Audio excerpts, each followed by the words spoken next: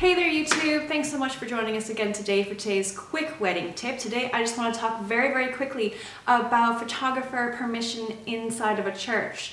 Um, more and more frequently I'm finding that priests are getting a little bit more particular about photographers photographing during a wedding ceremony. So just make sure to ask up front when you meet your priest um, or your celebrant, whoever it may be, that it's okay that your photographer takes photos during the entire ceremony and not just certain bits like when you're walking up the aisle, when you're saying your vows.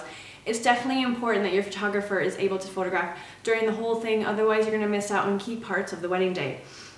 Um, also, you can always confirm with your photographer if they're going to use flash inside of a church or not, because sometimes that's one part where the celebrant is a little bit um, more particular about, is they don't want someone who's going to be disruptive. And if your photographer works very discreetly and doesn't have a flash on their camera, then sometimes the priest or the celebrant is going to be a little bit more willing to let your photographer in. So always check with your photographer what way they shoot, and always check with your celebrant before your wedding day so that you can avoid any disappointment on the wedding day. Alright, so that's it for today's tip. I hope it helps and happy planning and we'll see you hopefully back next time. So thanks so much for listening to today's quick wedding tip. I hope it helps.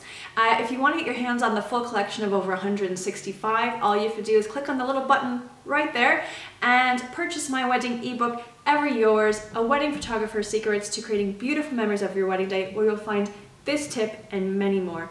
But in the meantime, happy planning. I hope you enjoyed today's tip. I hope it helps and we'll see you next time.